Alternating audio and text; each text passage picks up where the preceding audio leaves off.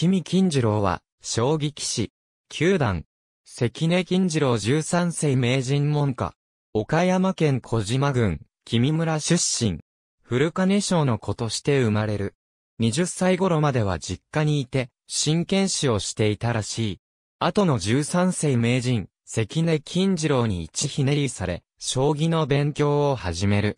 1914年、家業を捨て、東京に出て、関根金次郎門下に入門。プロ棋士となる。第一次世界大戦後に、古金の相場が再び上昇したため、大阪に戻り古金賞を再開する。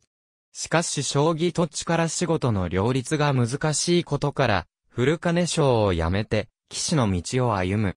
大阪では、大阪朝日新聞食卓の坂田三吉に対抗し、大阪毎日新聞食卓のスター棋士となる。受け将棋で、関西機械の大御所として、人望を集めた。1924年に八段昇段。1937年、上京し八段の全騎士が参加する名人戦リーグに参加したが、高齢のために惨敗。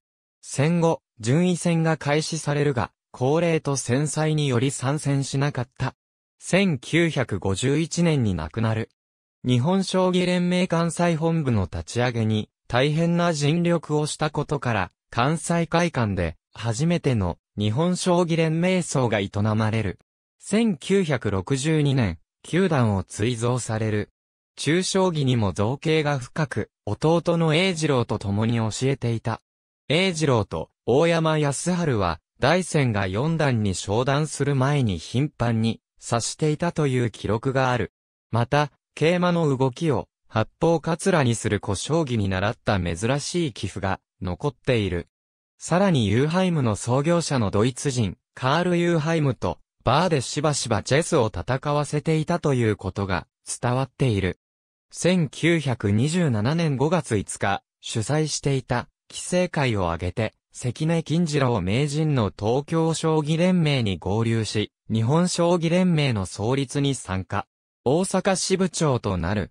当時の事務所は、君の自宅に設けられた。1935年、神田達之助の八段昇段をめぐり、連盟の分裂を経るが、1936年に、将棋体制会に合同する。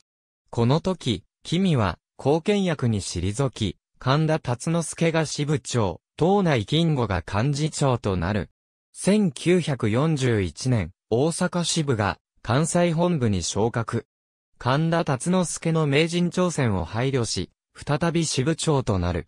関根金次郎の門下だったという資料もあるが、日本将棋連盟の騎士系統図においては、関根とは別系統のその一人となっている。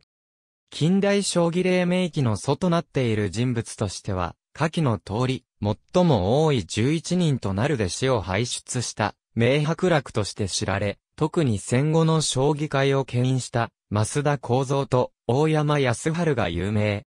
神田と共に、西日本出身の騎士を数多く育てた。また系譜筋には、平成以降に、数多くの弟子を輩出した、森信夫や、大仙の孫弟子で名人となった、佐藤天彦がおり、現代でも、君門下の系譜で一戦級で活躍する騎士は多い。